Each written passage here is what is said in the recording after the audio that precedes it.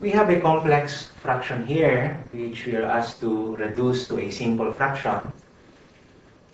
Now, if you take a look at the denominators of all the fractions involved, you will see that we have x, and then we have x squared, the least common multiple of which x, x squared is x squared.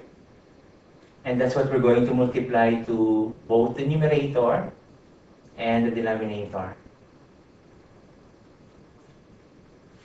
So, x squared times 2 is 2x squared, and x squared times 3 over x is positive 3x.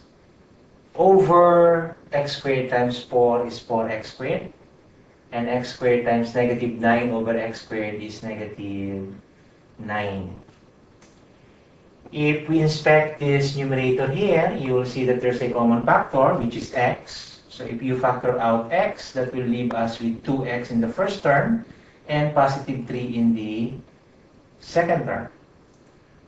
For the denominator, if you inspect these two terms, you will see that we have the difference of two perfect squares.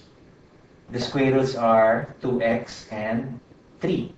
So the factors are 2x plus 3 and 2x minus 3. We can cancel out this uh, common factor 2x plus 3 and have as final answer x over 2x minus 3.